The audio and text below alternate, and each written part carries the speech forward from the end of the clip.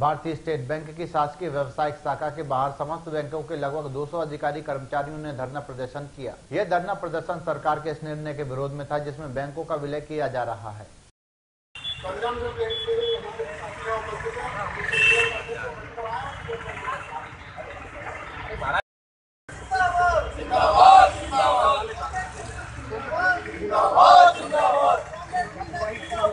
अन्य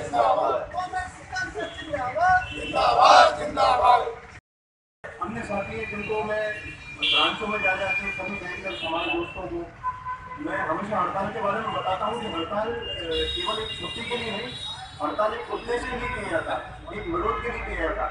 और हड़ताल में आज हम लोग जितने ज़्यादा से ज़्यादा संख्या में लोग एकत्रित हुए, ये एक मैसेज छोड़ता है, एक मैसेज जाता है इस